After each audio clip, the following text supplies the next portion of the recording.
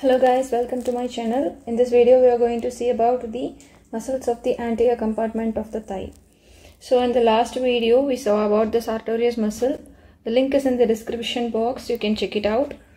In this video we are going to see about the rectus femoris muscle. So you can see here. So this is the rectus femoris muscle. In order to see the origin and insertion of this muscle, I am just isolating that.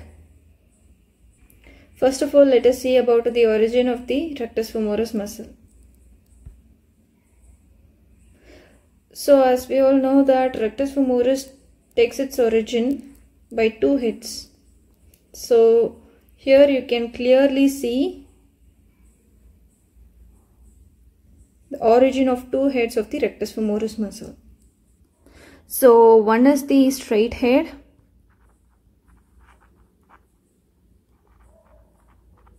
and the other is the reflected head.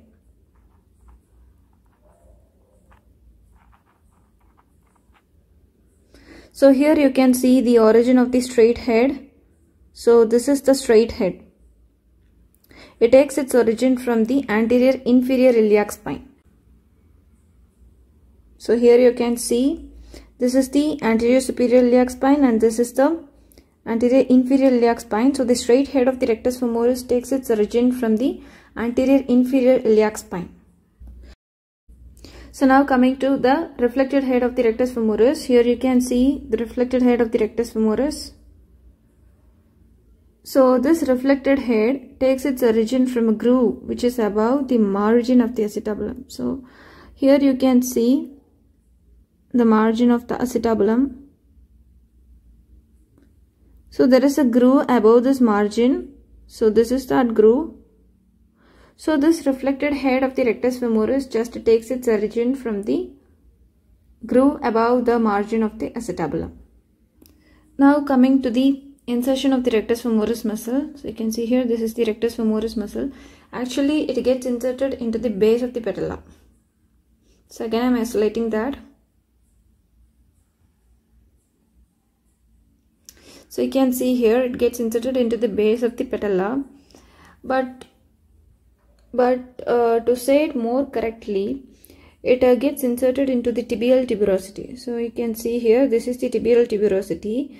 Uh, this rectus femoris muscle gets inserted into the tibial tuberosity via the patellar ligament. So here you can see the patellar ligament. This is the patellar ligament and this is the rectus femoris muscle. So it gets inserted into the tibial tuberosity via the patellar ligament. And the patellar ligament continues as the tendon of the quadriceps femoris. You can see here. So you can see here, this is the tendon of the quadriceps femoris. Uh, that is, the tendon of the quadriceps femoris is nothing but the continuation of the patellar ligament. So now coming to the nerve supply of the rectus femoris muscle. As I already said in the previous video, the muscles of the anterior compartment of the thigh all the muscles of the anterior compartment of the thigh they are supplied by the femoral nerve.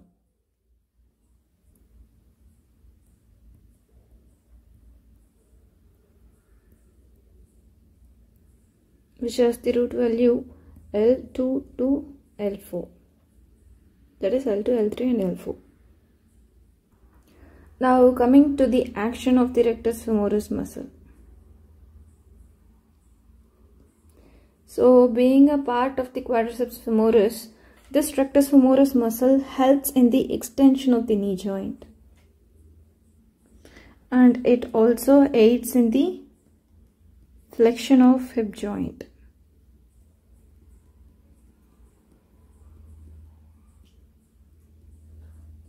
So as this muscle helps in the extension of the knee joint, this muscle is also called as the kicking muscle.